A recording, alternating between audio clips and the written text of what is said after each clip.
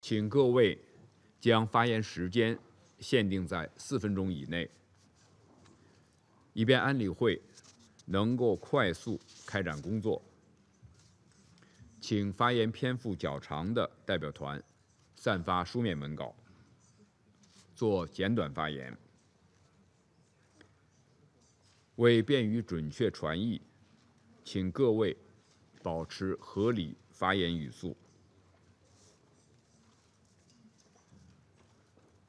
本次公开辩论在午餐时间将继续进行。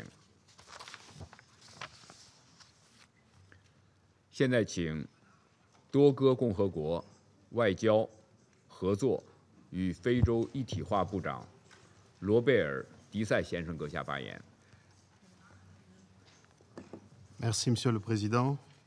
Monsieur le sous-secrétaire général, Mesdames et Messieurs les membres du Conseil, Mesdames et Messieurs, je voudrais tout d'abord remercier la République populaire de Chine ainsi que le Sénégal et l'Angola de l'initiative prise d'organiser ce débat de haut niveau sur la question de la piraterie et des vols armés armés en mer dans le golfe de, Gui- de Guinée, qui témoigne de tout l'intérêt qu'elle porte à la promotion de la paix, de la sécurité et de la, et de la stabilité partout où elles sont menacées, en Afrique en particulier.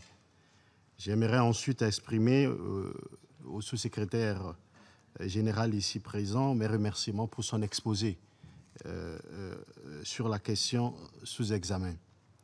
Je sais gré au Conseil de sécurité de l'opportunité qui m'est offerte de parler de cette question qui est intimement liée à la thématique choisie dans le cadre du sommet extraordinaire de l'Union africaine qui aura lieu à Lomé le 15 octobre prochain.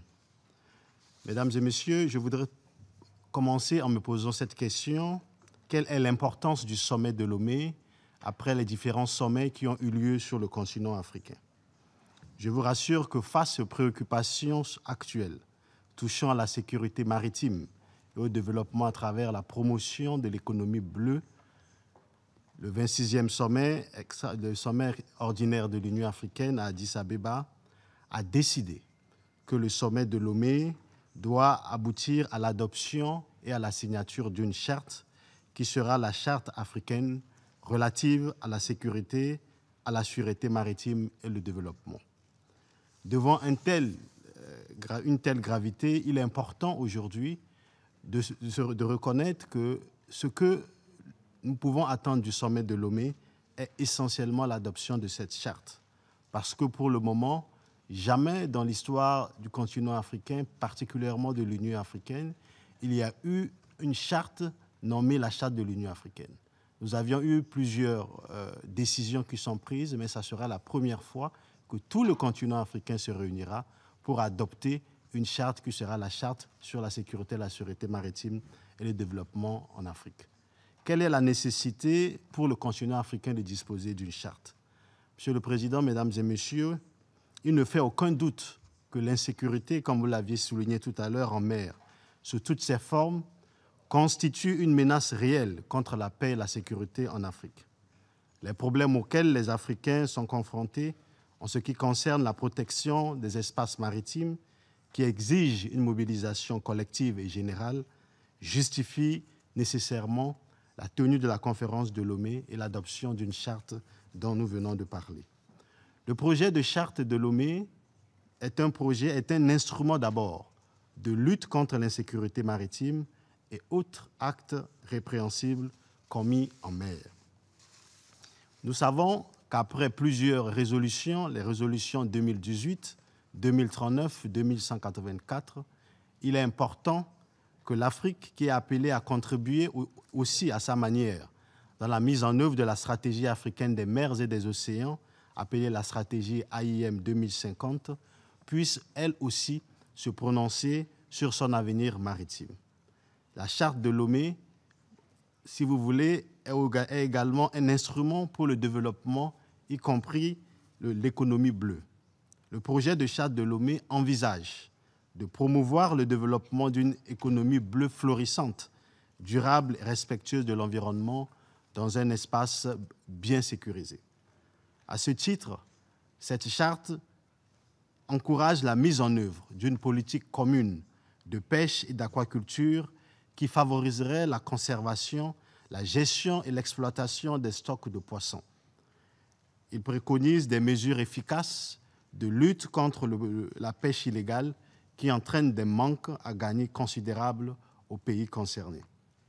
Par ailleurs, l'adoption de ce projet de charte devra permettre aux États africains de stimuler leur croissance économique par la croissance, par la création d'emplois le long des, des côtes africaines à travers notamment la promotion de la pêche artisanale et la commercialisation des produits de pêche au plan national, sous-régional et international. Il faudrait aussi reconnaître l'importance du commerce international et du tourisme dans la croissance économique des États et le projet de charte vient à point nommé rappeler et encourager les initiatives ayant pour objet de protéger l'environnement marin et côtier conformément aux instruments internationaux sur la biodiversité notamment et de promouvoir la gestion durable des populations, des, peuplements marins et des espèces marines protégées ainsi que les écosystèmes associés. Ce projet de charte, mesdames et messieurs, est également un creuset des actes normatifs africains régissant la lutte contre l'insécurité en mer. C'est un instrument de consolidation de l'intégration régionale et sous-régionale qui vise non seulement à favoriser, à fédérer et à renforcer des cadres normatifs existants et déclinés dans le Code de conduite de Djibouti du 29 janvier 2009, celui de Yaoundé du 25 juin 2013, comme vous l'avez cité ici, ainsi que la stratégie africaine des mers et des océans, appelée la stratégie AIM 2050 dont nous avions parlé. Et entre autres, ce projet veut également prendre des initiatives, les actions et les moyens pour, y- pour parvenir à ces fins qui consistent essentiellement à sensibiliser et à donner des instruments juridiques à tous les États africains de pouvoir lutter efficacement contre l'insécurité en mer. Monsieur le Président, Monsieur le Secrétaire général, Mesdames et Messieurs, la conférence extraordinaire des chefs d'État et de gouvernement de l'Union africaine, qui aura lieu le 15 octobre euh, prochain à Lomé, marquera certainement une étape importante dans l'existence et la mise en œuvre des objectifs de l'organisation de, de- de panafricaine, l'Union africaine, qui demeure résolument engagée dans le processus de renaissance du continent africain. Il s'agit d'une Afrique qui se veut libre et responsable, qui a pleinement à cœur de s'assurer et d'agir en valorisant tous les atouts et toutes les potentialités à sa disposition, y compris, y compris en particulier tous ceux dont recèlent ces espaces maritimes pour réaliser son développement et le bien-être de ses populations. C'est le but essentiel, si vous le voulez, du sommet de Lomé le 15 octobre prochain. Je vous remercie pour votre attention. 感谢迪塞部长阁下的发言，请瑞典外交事务国务秘书安妮卡·瑟德尔女士阁下发言。Thank you, Mr. President.